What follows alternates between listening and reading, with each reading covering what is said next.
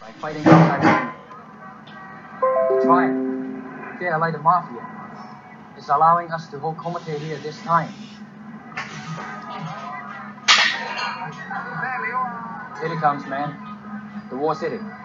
Not a place for outsiders. You are in Hong Kong, but you are about to cross an invisible border into mainland China.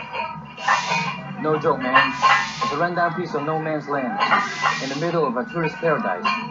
Goes way back to the old lease agreement between Great Britain and China.